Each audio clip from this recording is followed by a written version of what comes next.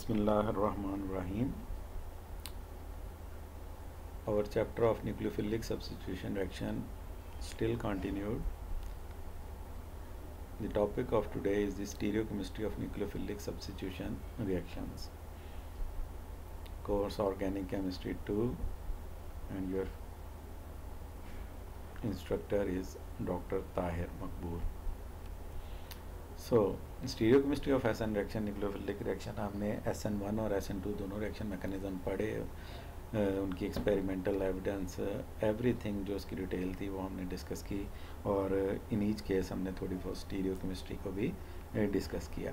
अब यहाँ पे दोबारा स्टीरियोकेमिस्ट्री डिस्कस करने की रीज़न क्या है? थोड़ी सी डेप्थ में जाके हम उसको देखना चाहते हैं, उसकी रीज़न्स देखना चाहते हैं और फिर आउटकम जो है हम ये कह देना काफ़ी नहीं है कि जनाब एस एन टू रिएक्शन में इन्वर्जन ऑफ़ कन्फिग्रेशन है और एस एन वन में मिक्सचर ऑफ़ आइसोमर बनेगा।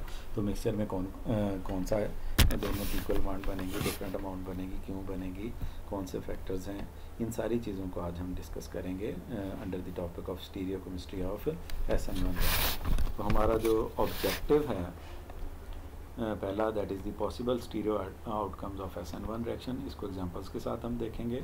सिमिलरली uh, हम फैक्टर्स देखेंगे which will decide the stereochemistry of the product और सिमिलरली uh, इसी के अंदर हम डिस्कस करेंगे कंप्लीट एंड पार्शियल रेसिमाइजेशन को कि न्यूक्लियोफिलिक सब्सिट्यूशन रिएक्शन में uh, किन कंडीशंस के अंदर कंप्लीट रेसिमाइजेशन पॉसिबल है या mm, ज़्यादातर केसेस में पार्शियल रेसिमाइजेशन क्यों होती है?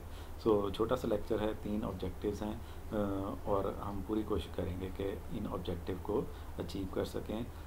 आफ्टर लिसनिंग दिस लेक्चर आप इन तीनों क्वेश्चन तीनों जो पॉइंट्स है, उसको फुली अंडरस्टैंड कर जाएँ इन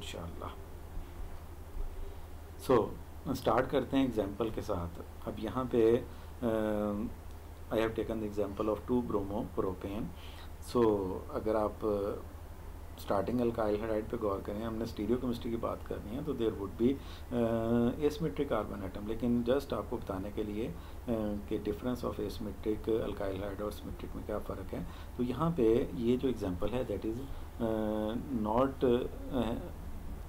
that has not the carbon atom which is asymmetric one because here two methyl groups are attach so this carbon is asymmetric not asymmetric carbon this is this is not example of asymmetric carbon atom so यहाँ पे इसका hydroxyl के साथ treatment है और result and to प्रोपानॉल बनेगी। अब चूँकि आपका अल्काइल हाइड जो है it doesn't have any asymmetric carbon atom हम ये बात जहन में रखें, हम उस कार्बन की बात कर रहे हैं that is attach to the leaving group तो यहाँ पे हमारा लिविंग ग्रुप जो है, वो एसमेट्रिक कार्बन एटम से अटैच नहीं है। तो हमारी प्रोडक्ट भी जो है ना it will not be in stereoisomer उसके अंदर स्टीरियो एसोमर पॉसिबल ही नहीं है because there is no asymmetric carbon atom in your starting alkyl halide अब सेकेंड एग्ज़ाम्पल है, ये हमारे रेलिवेंट डायरेक्टली अगर आप देखें तो यहाँ पे हमने टू ब्रोमो ब्यूटेन लिया है, ये टू ब्रोमो प्रोपेन है। एक कार्बन के इजाफे से ये जो कार्बन है that is attach to the leaving group it has become the asymmetric one by because it attach to methyl group hydrogen ethyl group and over leaving group that is bromide so हमारे पास ये जो चारों group इस carbon के ऊपर attach हैं atoms और ग्रुप ऑफ़ एटम्स ये एक दूसरे से क्या हैं? डिफरेंट हैं. So this is the asymmetric carbon atom अगर आपके अल्काइल रिएक्टिंग के अंदर एसमेट्रिक कार्बन एटम है तो जो सब्सिट्यूशन प्रोडक्ट है, उसके अंदर भी एसमेट्रिक कार्बन एटम डेफिनेटली है. क्योंकि ब्रोमो की जगह पे वैसा है बाकी तीनों ग्रुप जो हैं वो एक दूसरे से डिफरेंट सेम ही रहेंगे। सो so, हमारे पास टू ब्यूटानोल जो है it has asymmetric carbon atom अब जब आपकी प्रोडक्ट के पास एसमेट्रिक कार्बन एटम है it can exist in the form of stereoisomers दूसरे लफ्ज़ों में ये इसके एनचोमर्स पॉसिबल हैं। अब हमें कैसे पता चलेगा कि दोनों एनचोमर बनेंगे? एक एनचोमर बनेगा या दो बनेंगे उनकी परसेंटेज इक्वल होगी या एक दूसरे से डिफरेंट होगी। तो सबसे पहली चीज़ तो है कि हम कॉन्फ़िगरेशन को कैसे स्पेसिफाई कर सकते हैं। यहाँ पे रिलेटिव कॉन्फ़िगरेशन की बात हो रही है। तो कॉन्फ़िगरेशन को स्पेसिफाई करने के लिए हमें दो चीज़ों का पता होना नहायत ज़रूरी है। फ़र्स्ट वन क्या है आपके पास? कि हमें जो आपका स्टार्टिंग अल्काइल हाइड है, इसकी कन्फिग्रेशन पता होनी चाहिए कि this one is R R S second कि हमें पता होना चाहिए कि reaction mechanism S N two है या एस एन वन है, क्योंकि एस एन टू और एस एन वन जो है डिफरेंट स्टीरियो केमिकल आउटकम देते हैं। तो ये दो चीज़ों का अगर आपको पता है then you can specify the configuration of product अगर आपको इन दोनों चीज़ों में का नहीं पता या इनमें से किसी एक चीज़ का नहीं पता then you are unable to specify the configuration of the product so हम दोनों केस अप्लाई करके देखते हैं। फॉर एग्ज़ाम्पल हमने पहला केस लिया कि आपके पास ये थोड़ा सा टाइपिंग मिस्टेक है। This one is S N two आप इसको ले लें। तो if we have S N two reaction और अल्काइल हाइड जो है दैट इज़ एस कंसनट्रेशन है। ये एस एन वन नहीं है, ये मैं रिपीट कर रहा हूँ। यहाँ पे आपने वन की बजाय टू ये टू के लिए ये टाइपोग्राफिकल मिस्टेक है। I am sorry about that so if reaction is carrying out under SN2 condition and your alkyl halide has S configuration then the product would be R2 butanol reason उसकी क्या है ये हम बात कर ये आगे एग्जांपल भी आएगी इसकी ये हाँ ये देख लें अब यहाँ पे आपके पास ये हमने उसको एस कन्फिग्रेशन लिया है और ब्रोमो आपके पास अटैच है S N two condition apply करेंगे तो आपके पास जो बनेगी that is R two butanol यानी कि एस से हम आर में जा रहे हैं, यानी कि इन्वर्जन ऑफ़ कन्फिग्रेशन है। क्योंकि आपको पता है कि एस एन टू रिएक्शन जो है that is single step reaction it involve the back side attack of a nucleophile क्योंकि एक ही स्टेप के अंदर न्यूक्लियोफाइल ने आना है और आपके जो लिविंग ग्रुप है, उसने जाना है। हमने ये सारी चीज़ें माइमोटी की बेस पे, और कनेटिक एविडेंस की बेस पे ये तय किया था कि बैक साइड अटैक ही फिजिबल है। एस एन टू रिएक्शन के अंदर क्या? बैक साइड अटैक ही फिजिबल है। तो बैक साइड अटैक का मतलब क्या है कि जो रिलेटिव कन्फिग्रेशन होगी दैट वुड बी चेंज्ड कि जो आपका ब्रोमो जिस पोजीशन पे लगा है उसकी अपोजिट साइड पे आपके हाइड्रोक्सल ग्रुप लगेगा क्योंकि इनकमिंग निक्लोफाइल का अटैक कहाँ पे हो रहा है? बैक साइड अटैक हो रहा है उस कार्बन के ऊपर जिसके ऊपर हेलोजन अटैक है।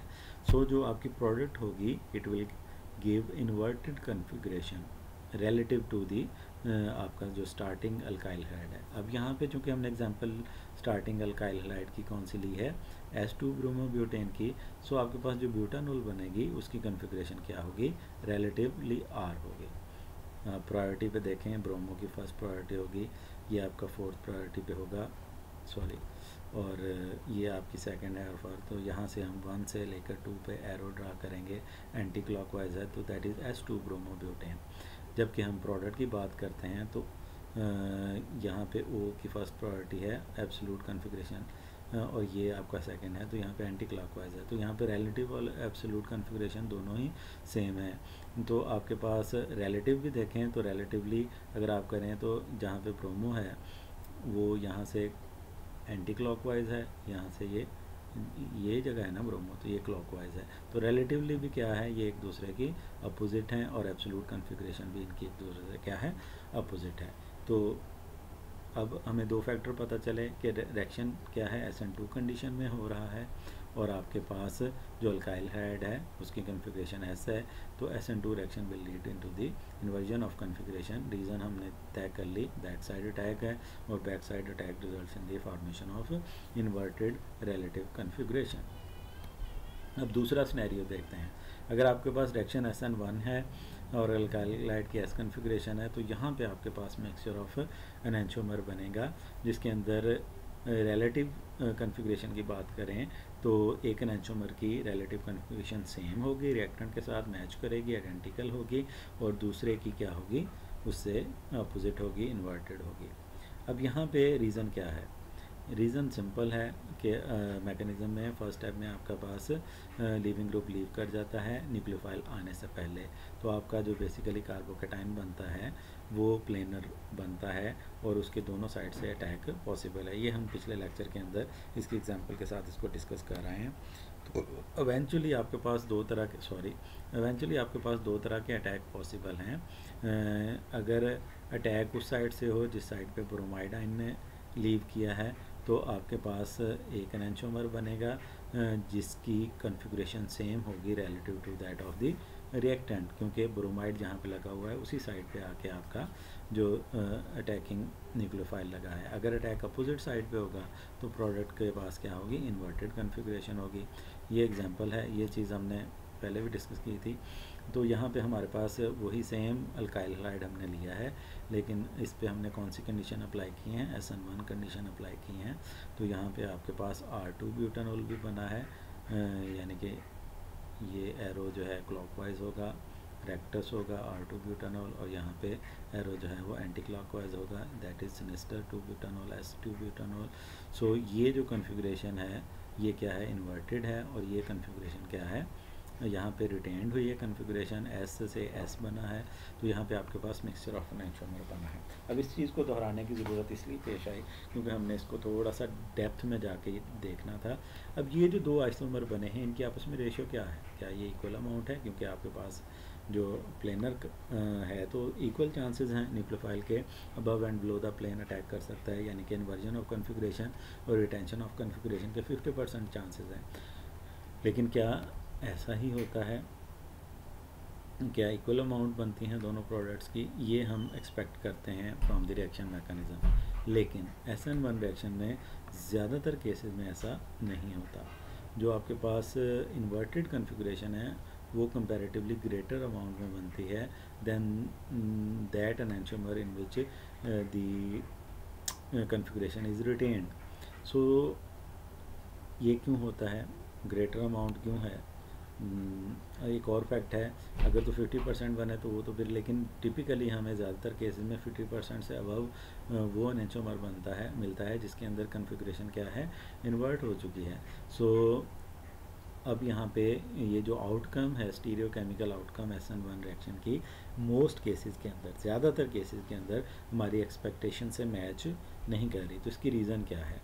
ये चीज़ हमें ज़रूर पता है कि अगर इक्वल अमाउंट बने दोनों एनेंशोमर्स की तो हम इसको क्या कहेंगे? Complete racemization if the reaction leads to the equal amount of two stereoisomer the reaction is set to take place with complete racemization लेकिन अगर ऐसा नहीं होता, एक एनेंशोमर ज़्यादा बनता है, when more of one of the product is formed, then the reaction is to take place with the partial racemization तो हमारे पास एस एन वन रिएक्शन में ज़्यादातर क्या हो रही है? पार्शल रेसिमाइजेशन हो रही है कंप्लीट रेसिमाइजेशन नहीं होती। लेकिन there are some reaction in which complete racemization होती है। तो फिर कौन सी कंडीशंस हैं? क्या इसकी लॉजिक है कि कभी कंप्लीट हो जाती है, कभी पार्शल रेसिमाइजेशन होती है? तो इस आंसर को बेसिकली हमने इसका जो आंसर देना है, इस क्वेश्चन का आंसर देने के लिए हमने इसको आपको स्टीरियो केमिस्ट्री को दोबारा रिफ़्रेश करवाया है और अब हम उसके आंसर की तरफ़ चल रहे हैं। So why extra inverted product generally generally क्या होती है? इन्वर्टेड प्रोडक्ट ज़्यादा अमाउंट में बनती हैं, ये क्यों बनती हैं? एस एन वन रिएक्शन इसकी रीज़न जो है हमें मिली है सॉल विंस्टाइन ने पॉस्टुलेट किया था। इसकी रीज़न को उसने क्या कहा था कि जो आपका डिसोसिएशन है अल्काइल हाइड की, जो आपका स्लो स्टेप है वो मुख्तलिफ़ स्टेप्स के अंदर होती है और फर्स्टली जो बनता है उसके अंदर इंटीमेट आइन पेयर बनता है। इंटीमेट आइन पेयर क्या है? कि ये वो पेयर है जब आर और एक्स यानी कार्बन और हाइड्रोजन का जो बॉन्ड है that is has just been broken the bond between the carbon and the leaving group has just been broken but the cation and anion remain next to each other अब यहाँ पे ऐसे ही है कि वो मतलब ब्रेकअप हुआ और बोथ पार्टीज़ आ रही ना शॉक ठीक है ना? शौक शौक नहीं, शौक। उनको शौक लगा हुआ है। वो स्टैंड है, अपनी जगह पे खड़ी हैं, यानी कि उनके दरमियान बॉन्ड ब्रेक हो गया है, लेकिन वो समझ लें आलमोस्ट बॉन्ड इन डिस्टेंस के ऊपर ही मौजूद हैं। वो एक दूसरे से मतलब आलमोस्ट सेम डिस्टेंस पे हैं। एक एग्जैक्ट डिस्टेंस तो नहीं हो सकता, उस पर तो हम कहेंगे कि इनके दरमियान बॉन्ड है। तो है बॉन्ड जो है जस्ट ब्रेक हुआ है, और तकरीबन एक दूसरे के नेक्स्ट टू ईच अदर मौजूद हैं। अब इंटीमेट आयन पेयर पे, फिर जब वो एक दूसरे से दूर जाती हैं, जालम समाज उनके सॉरी सॉल्वेंट उनके बीच में आता है तो हम उसको नाम दे देते हैं solvent separated ion pair here one or more solvent molecule have come between the cation and the anion यहाँ पे अब अब दोनों पार्टियों के जो रिलेटिव्स हैं वो उनकी दिलजोई के लिए उनके दरमियान आ चुके हैं. अब जब इनको एक दूसरे से फर्दर सेपरेट कर कर देंगे, ये जो मालिक्यूल्स हैं तो it will result in the completely dissociated ions अब इस सारी चीज़ को हम जो है ना, ये क्वेश्चन की फॉर्म में भी डिस्कस किया एक्सप्लेन किया जा सकता है। अब यहाँ पे देखें, ये आपके स्टार्टिंग मटेरियल है। यहाँ पे इन दोनों के दरमियान बॉन्ड है ताल्लुक बेहतरीन है, अच्छे हैं, और बड़ी हैप्पी फैमिली है अनडिसोसिएटेड मालिक्यूल है। अब आपने S N one condition apply की तो जनाब, इन दोनों के ताल्लुक ख़राब हुए और यहाँ पे क्या हुआ? हम्म, इन दोनों का बॉन्ड जस्ट ब्रेक हो गया। हेट्रोलिटिकली ब्रेक हुआ एक्स नेगेटिव चार्ज ले गया और आर पॉजिटिव चार्ज ले गया। ये बेचारा अपने इलेक्ट्रॉन जाने पे दुखी है और ये इन इलेक्ट्रॉन को संभालने पे दुखी है। लेकिन इनके दरमियान जो है ये just these are just present next to each other तो हम इसको क्या कहेंगे? इंटीमेट आइन पेयर अब फर्दर अब यहाँ पे क्या हुआ? इनके दरमियान डिस्टेंस इंक्रीज़ होना शुरू हुआ, क्योंकि सॉल्वेंट मालिक्यूल्स ने इन दोनों के दरमियान ये ालम समाज के तौर पे एक्ट करना शुरू कर दिया। तो इस सम पेयर को क्या नाम देंगे? सॉल्वेंट सेपरेटेड आयन पेयर अब यहाँ पे एक दूसरे से दूर तो हैं, लेकिन अभी भी इतने सॉल्वेंट मालिक्यूल नहीं आए कि ये एक दूसरे को इन्फ्लुएंस ना कर सकें। अब जब कंप्लीट एसोसिएशन हो जाती है तो ये दोनों एक दूसरे के इन्फ्लुएंस से बाहर निकल चुके हैं because they have large number of solvent molecule in between them तो यहाँ पे आप कह लें कंप्लीट सेपरेशन हो चुकी है। यहाँ पे जस्ट ब्रेकअप है, और यहाँ पे फौरी तौर पे सॉल्वेंट मालिक्यूल वन और टू और फ्यू मालिक्यूल्स ही हैं, फिर still they can influence each other और यहाँ पे इनके, ये एक दूसरे के इन्फ्लुएंस से बिल्कुल आउट हो चुके हैं। तो जो आपका न्यूक्लियोफाइल है, वो इन चारों स्पीशी में से किसी भी स्टेज पे एक्ट कर सकता है। अब इसके अंदर अगर तो अनडिसोसिएटेड मालिक्यूल के ऊपर अटैक होगा तो आपका एस एन वन रिएक्शन नहीं होगा एस एन टू रिएक्शन होगा, क्योंकि न्यूक्लियोफाइल अटैक कर रहा है और एक्स जा रहा है। तो ये एक ही स्टेप के अंदर होगा तो दूसरे सूरत में ये तो एस एन टू रिएक्शन होगा। ये आउट ऑफ़ क्वेश्चन है, ये हमारे डिस्कशन का पार्ट नहीं है।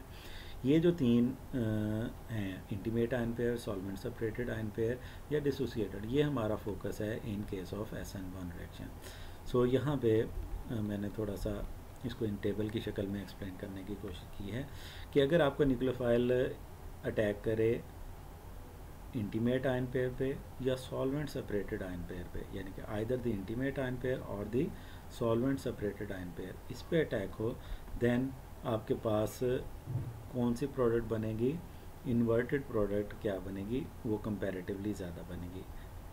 रीज़न क्या है? रीज़न उसकी बड़ी सिंपल सी है कि जो आपका लिविंग ग्रुप है ये इस पोजीशन में है to partially block the approach of nucleophile to that side of the carbocation यानी कि अगर आप यहाँ पे न्यूक्लियोफाइल का अटैक होता है तो ये एक्स नेगेटिव जो है, ये इसको हिंडर कर सकता है न्यूक्लियोफाइल को। तो न्यूक्लियोफाइल के इस तरफ़ से आने के चांसेस इस तरफ़ से आने के चांसेस की नस्बत क्या है? ज़्यादा है। लेकिन इसका मतलब ये नहीं कि वो आ ही नहीं सकता। वो आ सकता है इस तरफ़ से भी, लेकिन अगर वो इंटीमेट आइन पेयर जब है, उस वक्त न्यूक्लियोफाइल का अटैक होता है तो उसके बैक साइड के चांसेस ज़्यादा हैं। अगर सॉल्वेंट सेपरेटेड आइन पेयर है, तब भी उसके बैक साइड अटैक के चांसेस क्या हैं? ज़्यादा हैं। तो इस सूरत में क्या है? अगर बैक साइड अटैक के चांसेस ज़्यादा हैं तो इन्वर्टेड प्रोडक्ट बनने के चांसेस क्या हैं? ज़्यादा हैं, क्योंकि यहाँ पे आपका लिविंग ग्रुप जो है वो उसके, वो इस पोजीशन में है कि इसको थोड़ा सा क्या कर सके, हिंडर कर सके। लेकिन अगर आपके न्यूक्लियोफाइल का अटैक कम्प्लीटली डिसोसिएटेड कार्बोकेटाइन के ऊपर होता है तो उस सूरत में जो प्रोडक्ट के चांसेस हैं, वो इक्वल हो जाते हैं। फ्रंट साइड अटैक भी इक्वल हो जाता है बैक साइड यानी दोनों साइडों से अटैक के चांसेस 50 परसेंट होते हैं। तो यहाँ पे कम्प्लीटली रेसिमाइजेशन के चांसेस होते हैं, क्योंकि यहाँ पे आपका न्यूक्लियोफाइल बिल्कुल भी इस पोजीशन में नहीं है कि वो आपके सॉरी जो लिविंग ग्रुप है वो इस पोजीशन में नहीं है कि वो आपके अटैकिंग न्यूक्लियोफाइल को क्या कर सके, किसी तरह भी उसकी अप्रोच को हिंडर कर सके। सो so, अगर इंटीमेट आयन पेयर या सॉल्वेंट सेपरेटेड आयन पेयर के ऊपर न्यूक्लियोफाइल का अटैक होता है तो आपकी इन्वर्जन ऑफ़ कन्फिग्रेशन या इन्वर्टेड प्रोडक्ट ज़्यादा परसेंटेज में बनेगी। जब डिसोसिएशन कंप्लीट होगी फिर अटैक होगा तो कंप्लीट रेसिमाइजेशन होगी। तो अब टैप आ गया तो ज़्यादातर केसेस में अब चूँकि ये एक दो तीन के अंदर दो आपके पास ये जो इंटरमीडिएट्स आप समझ लें, एक किस्म के।